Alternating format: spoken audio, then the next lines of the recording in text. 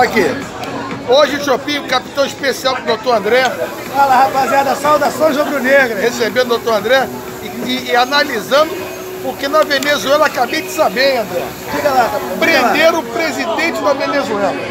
Mas não é o Maduro. Maduro mandou prender o presidente da Venezuela, que é o, que é o tal de Juan, não sei do que, que se declarou presidente. Camarada que ciscar no terreiro do outro, porra. Eu sou o presidente. Presidente agora sou eu. Aí o Maduro olhou pra ele e falou, pô. Tá de sacanagem, tá de brincadeira, não Mas bagulho. diga você, tá preso. Tá de óculos, né? Tá vendo agora esse meu sucesso.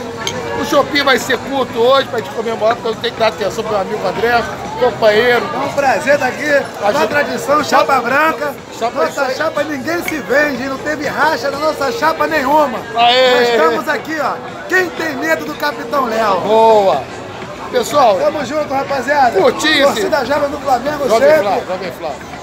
Então, curtinho, nosso, nosso show pro capitão, tá certo? E ficamos assim. Forte abraço a todo mundo e a luta A continua. luta continua. Sucesso!